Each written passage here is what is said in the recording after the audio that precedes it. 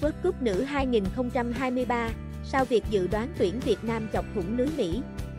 Ca sĩ Hoàng Bách, diễn viên Huy Khánh, nhạc sĩ Dương Khắc Linh chúc tuyển nữ Việt Nam thi đấu tốt trong trận ra quân gặp Mỹ tại World Cup nữ 2023, diễn ra vào sáng ngày 22 tháng 7.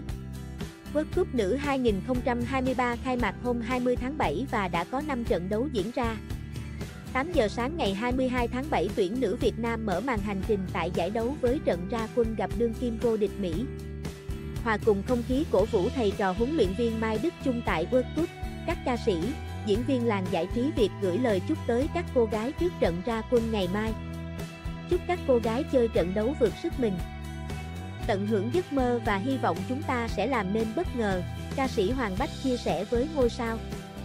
Anh cũng hy vọng tuyển nữ sẽ không bị quá lép vế trước đương kim vô địch Mỹ và sẽ chọc thủng lưới đối thủ, có bàn thắng đầu tiên trong lần đầu dự World Cup nữ.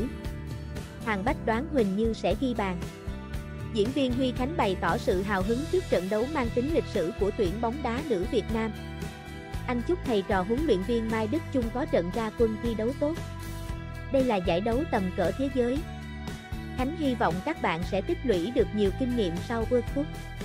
Hãy xem mỗi trận đấu là một kỷ niệm đẹp và đá hết mình nhé. Anh nhắn nhủ tới các nữ tuyển thủ. Diễn viên Huy Khánh đoán tuyển nữ Việt Nam có thể ghi bàn vào lưới tuyển Mỹ. Trận đấu sẽ là cuộc so tài căng thẳng nhưng cũng là cơ hội để những cô gái vàng của đội tuyển bóng đá nữ Việt Nam bứt phá.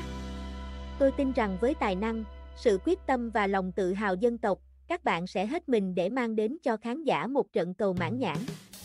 Tôi không muốn nói về tỷ số nhưng hy vọng và tin tưởng Huỳnh Như sẽ tỏa sáng, nhạc sĩ Dương Khắc Linh chia sẻ. Diễn viên Tiến Luật bày tỏ niềm tin tuyển nữ Việt Nam sẽ giành chiến thắng 3 trận liên tiếp tại vòng đấu bảng. Chúc cho tuyển bóng đá nữ Việt Nam đại thắng. Tôi dự đoán đội Việt Nam toàn thắng 3 trận với tỷ số lần lượt là 6, 0, 7, 1 và 5, 2, anh nói.